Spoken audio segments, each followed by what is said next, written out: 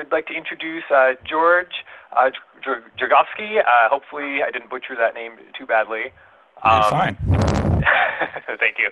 Uh, George is from Caltech, and he was also the co-chair of the uh, the uh, KISS Techno Signatures workshop. And so George is going to give us a talk on how to think like an alien. George, the floor is yours. Well, thank you, and thank you for inviting me. So, despite of my clickbait title, I don't know how to think like an alien, and nobody does, and we probably never will. But I will report in a highly biased way about the workshop intended to minimize the biases for searches for technosignature, which was done over a year ago. How time flies. And here is the URL. Uh, you can probably easily find it in Google anyhow. And um, well, the report, yes, it will exist at some point. So it was a very fun workshop. Some of you were there. Uh, Don was there, uh, Jason, Sophia. They certainly contributed enormously, especially Jason with his encyclopedic knowledge of the subject. We invited not just the usual suspects in astrophysics, physics, uh, but also people from fields like social anthropology, somebody who knows how dolphins communicate, and a biologist who told us how you can maybe encode fossil messages in DNA uh, and stuff like that. But I don't have, obviously, time to go through all of it. So the motivation for this was to go beyond the traditional setting and a lot of traditional SETI, including, so especially radio, uh, was basically assuming several things that are clearly anthropocentric for the present day. That first, that ETIs will choose to communicate, and we will it will do that with the present day, more or less, planetary technology, and in a way that we can understand.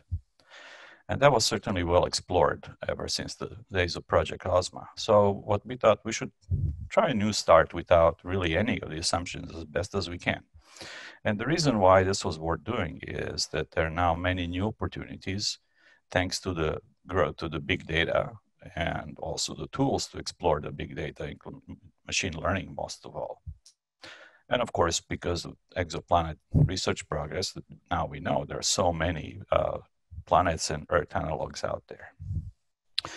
So this was really the challenge we put to ourselves. How can we recognize and minimize, if not eliminate, the, these inevitable human biases that are historical and cultural and technological and so on and so forth.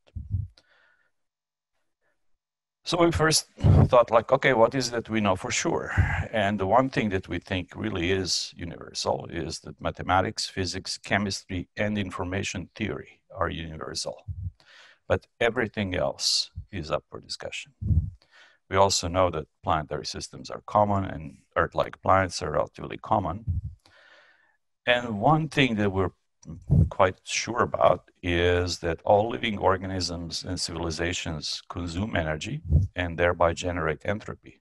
They generate information, so they have to pay the entropy price for it. In some sense, they're entropy sources, or other environment, they dump their excess uh, junk heat. And in addition to the information sources.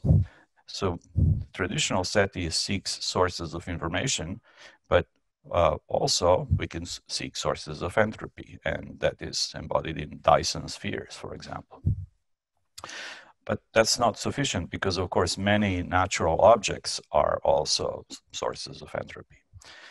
And civilizations probably respond to their environment and modify them and evolve in ways that we may or may not be able to recognize. So these are starting points, pretty general, I would say. Now, I think it's worth taking a little lesson from the past. And this is from about 100 plus years ago, where these three great inventors, Tesla, Edison, Marconi, all thought that they detected radio signals from Mars. And Mars, as you know, was very popular uh, back then. They didn't know about the ionosphere. That's why three kilohertz seemed like a good thing. And these men all said things like this. Um, Marconi not only thought for sure that he got extraterrestrial signals, but he even thought to use Morse code. And Tesla was also somehow sure that these signals are not coming from the planet Earth and maybe from Mars. And Edison had his own adventure using a big pile of iron ore in Michigan. But basically, all of them seem to be fairly confident that yes, there are kind of human-like people on Mars, and they communicate with us at three kilohertz or so. Now, these people are obviously no fools. They were geniuses. And uh, this may sound silly to us today because of everything else that we learned since then. But obviously, they were heavily, heavily influenced by their cultural and technological milieu that, uh, that they lived in. And so there is no reason to think that we are not suffering from same kind of blindness that's imposed by our own development and environment. So this is in a nutshell what we think um, this might look like. There are vast amounts of data in astronomy and more coming all the time, and I'll expand on this a little bit. And so first you assemble data, you federate different data sources like from different catalogs, optical, infrared, and whatnot. Then you have to do data cleaning, which is approximately where about 90% of your time and effort will go. And then you apply toolkit for machine learning.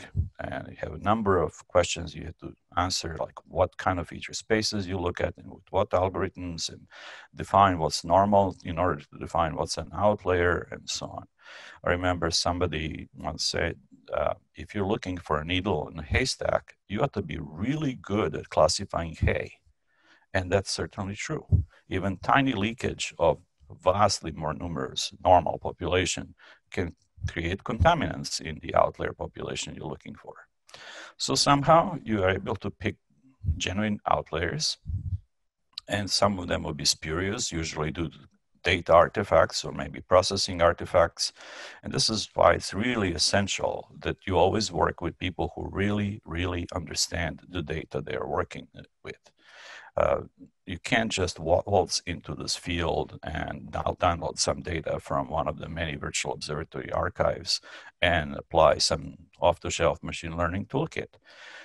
You're much more likely to make fool of yourself than to actually find anything interesting. So in all of the data science, and this is obviously one of the applications, this is always true that you cannot just hand over some data to a computer scientist or just use something off the shelf. You really, really need to understand where the data came from and what can go wrong. And a lot of things can go wrong. Well, suppose you do that and you eliminated all of the junk and you found real outliers. Well, they can be in two flavors.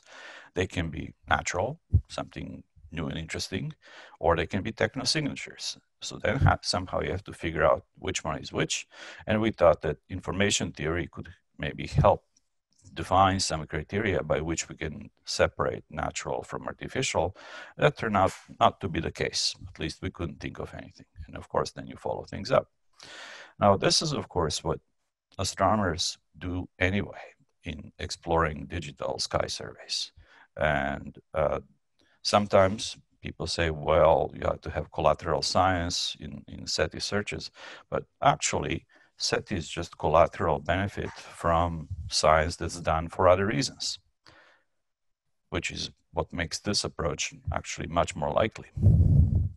So here is, uh, in my one slide, history of data-rich astronomy.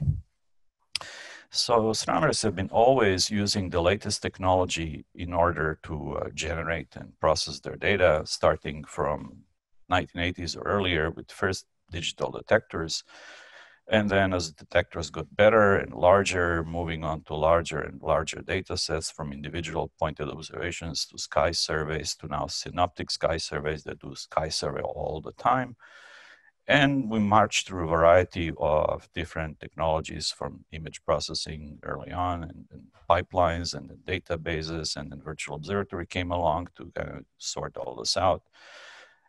Machine learning um, and now artificial intelligence since about turn of the century, well, virtual observatories have been operating for the past decade plus. Astroinformatics was rising as an interesting field by analogy with bioinformatics and other X informatics.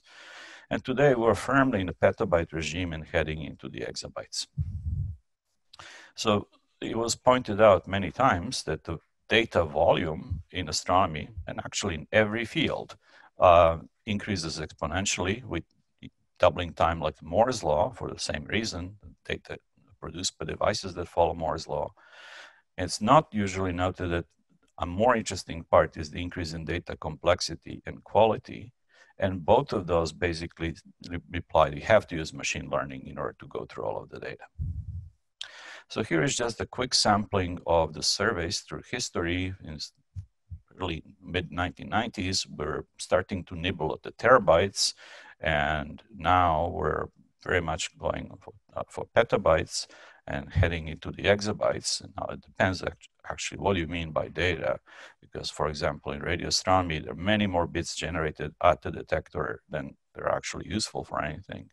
And we have to even think about things like data triage, which data to keep at all. Uh, but this is happening and it's going to continue because the derivative of exponential is also exponential, the rate will increase exponentially as well. So the data are uh, really a major opportunity here. Another thing that's worth noting is that universe looks different at different wavelengths because different physical processes generate energy in different uh, wavelength regimes. And federating data across different wavelengths, say infrared to optical to radio and so on, opens up new things. You see things in the data that were not visible, so to speak, or not recognizable in any of the data sets alone. So essentially, every astronomical observation carves some hypervolume or in the observational parameter space in the area and depth and wavelength and resolution and angular resolution and temporal baselines and so on and so forth. And within those hypervolumes are different phenomena, different sources. So that's where things come, uh, how we approach this. And that is increasing all the time. These uh, hypervolumes are expanding. This is sort of like the old cosmic haystack, only with many more dimensions and much more complicated. Um, and today there are many, many different surveys on different wavelengths that are carving their own chunks of this. So machine learning is the basic technology here, and for the purposes of what we're talking about, um, it's there are really two aspects of it. There is supervised learning or classification, where you have a sample of known things. You train classifier like neural network, and it finds things for you. And more interesting is unsupervised learning or clustering, where you let the data tell you how many different things are present in your data and which one belongs to which cluster. And then you presumably look at those that don't belong to any known cluster. There are literally hundreds of different algorithms to do all this. And so that's why you have to actually know what you're doing and experiment a little bit. Uh, real, this very much is collaborative effort between uh, astronomers and computer scientists and engineers. But there is no clear, obvious thing that you can say, oh, I'm going to use k nearest neighbors, and that'll define my clusters, and I'll find the outliers. Well, we do then map these parameter spaces. We choose particular measurements. Typical sky survey will generate hundreds of features for each source detected. And they cluster usually in this feature space. Some features are more important than the others. And if you know what you're looking for, like say quasars or brown dwarfs or what have you, and you can then predict where will they be in this chunk of the parameter space, then that's how you find it. And this is in fact how essentially all quasars today have been found, almost all. But unsupervised clustering has been always the dream behind all of this. This is nothing new. Uh, we all were always motivated by this, but you cannot say, well, we're going to look for things we don't know are there uh, in your proposals, because then you're accused of doing fishing expeditions. But I think every major new instrument survey had that as part of their motivation.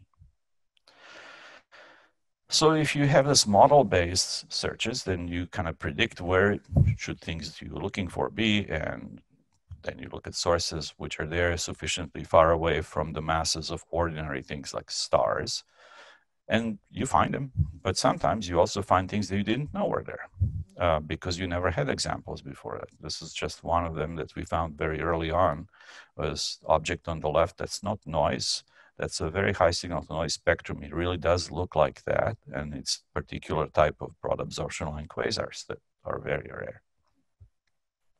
I'll point out now that in fact, even though we have been doing this a lot over the past 20 plus years, we have yet to find a truly new phenomenon of nature. What we have found are new, unusual, rare subspecies of known kinds of things, like different types of supernovae or, things like that, but never something was genuinely new. Well, okay, so you're doing this and you're looking for outliers, things that are far away in some quantitative sense from the bulk of other stuff in your parameter space. And this is where it gets really tricky because in order to define what's an outlier, you have to understand the probability density distribution of the normal stuff. And usually people assume Gaussians, but it's almost never the case in nature. Uh, my lesson in that was when I started looking for distant quasars, when I find out, found out that 5% of all of my data points are five sigma outliers. And that doesn't work. So if you see something that's far away, in some measure or probability or likelihood, it could be genuine outlier, or it could be that you have a fat tail of the distribution. And, and that's just the way it is. Well, that's where usually a lot of um, effort goes in. You have to actually follow them up and figure out what it is. So it's important to remember this is not magic. This is part of the toolkit. You have to clean the data before you do any analysis. And again, domain expertise is essential, but you have to worry not to throw away genuine interesting outliers because they don't fit what you expect in your data. And as if you have a lot of data, a lot of things will go wrong, and almost all of them would look like outliers. So this is the usual garbage in, garbage out. But there is another garbage out uh, path, which is your algorithms have some assumptions built into them, statistical or otherwise, and even if you had perfectly good data but choose wrong algorithms, you're going to get wrong results. This is why you need data science expertise, machine learning expertise. So machine learning itself is not biased, but it can be used in biased ways, and there are many examples of that you can go through. It's also hard to understand why sometimes they give you the result they do. And neural networks of all kinds, including deep learning, are notorious for that. That you just can't open the box and find out, oh, that's why this was classified as so and so. You just don't know. And that's a big issue to these days, understandability of machine learning. And in the end, in any case, however computers, accurate computers they might be, humans interpret the results. I'm always reminded of this statement from Ivan King that statistics are like the witches in Macbeth. They never told him anything that wasn't strictly the truth, but they let him derive his own conclusions. And that's the danger with all of the statistics or data mining. Uh, so let me say a few words about synoptic sky surveys, which are the, the major uh, data producer these days and across all of the different wavelengths. And there are many of them operating Zwicky transient, uh, transient facility at Palomar, Catalina Real-Time Transient Survey, PanSTARRS, ASAS, many, many others, many more are planned. And of course, LSST sees exploration of time domain as one of its major scientific goals. In all of them, we get vast amounts of the data, but coping with data volumes is not so much the problem because, again, computers get better according to Moore's law. But classifying things that vary or appear and then disappear remains to be a really a huge challenge. And we've been at this for like 20 years now, and some progress has been made but not nearly enough. We're totally not ready to really face the data flood that's coming already from synoptic sky surveys. Because how do you find something interesting? And it's variable, so You want to catch it while it's hot. That is like a whole another talk or set of talks in itself. And there are a lot of things that vary out there, natural things, some of them rather dramatically. Um, some of, most of them get brighter and fainter and so on. Um, flare stars, cataclysmic variables can have huge amplitudes, come out of nowhere below the detection threshold. They're bright for a while, then they go away. Um, there are also stars that dim, like our core uh, stars. Stars are even, you know, um, particularly good example of that. So here is an example of how we did actually look for interesting things in parameter space. And this is some measures of variability of quasars. And we selected outliers and found there are three different kinds of interesting things among the, those outliers, including quasars that change from type 1 to type 2 or the other way around in process changing their brightness usually by a few magnitudes. So those again could be things that appear that were not there before, not detectable, or disappear, become too dim for you to see. So the outcome of the, our uh, workshop was then uh, the following specific suggestions. First, looking for the outliers in source catalogs, federated source catalogs. This is the general unsupervised clustering, and this is what looking for the good old unknown unknowns. And this would be done by other for people for other astronomical reasons. So specific thing that we thought we can be doing is search for generalized Dysonian structures that convert some part of the luminosity of the parent star into thermal infrared. And that can be modeled. And, and that's the one robust thing that we thought civilizations will do. And so that could be a very specific thing to do. a better and more you know, improved search for Dysonian structures. And the other group of things is artifacts in the solar system, which come in two flavors. They can be free flyers on some kind of orbit around Sun or around Earth or Jupiter or something, and orbits that are somehow recognizably different from bulk of other stuff. And also, in principle, on the surfaces or just below surfaces of planets or moons or asteroids with little or no atmosphere. And so we started looking seriously into those. So of course, in terms of artifacts and surfaces, we now have great training data sets on Moon and Mars, artifacts that we left there, but they only look like artifacts that we left there. And but in principle, they show what something that is not like ordinary rocks or craters or something could look like in feature spaces. And people at JPL are really good at doing this kind of stuff. And things on unusual orbits. And I'll draw your attention to a poster paper by Virisha Timaraju, um, some of this work. And here is an example of a really interesting asteroid belongs in so-called uh, Apollo group which orbits the Earth and orbits the Sun together with Earth. And thanks to the wonders of the celestial mechanics, it has some really interesting orbit, uh, making these Lissajous figures as it goes around. Well, um, this is probably a natural object, although Chinese thought it sufficiently interesting that they may launch a mission specifically to go and check whether it really is a chunk of rock or something else. And that's just one example of the thing that we may be looking for in feature spaces of orbital parameters. So I'll end with, with this speculative idea. So we know the evolution tends to accelerate in time. That's true for both biological and technological evolution. And somebody once said that on planet Earth, singularity already happened, and it's us. And uh, that's definitely true. And of course, techno- pace of technology is increasing dramatically. So we are already creating alien minds. Uh, AlphaGo is just one example. And the most important part to it is that it finds things that humans never thought of and thinks in a different way. So basically, we are creating alien intelligence on planet Earth and it thinks different from us. And will, for sure, it'll surpass us, but because it thinks different, it may help us really find things that, you know, thinking like the aliens. assuming it's interested in doing that. So that I'll stop and thank you for your attention. So happy to answer any questions.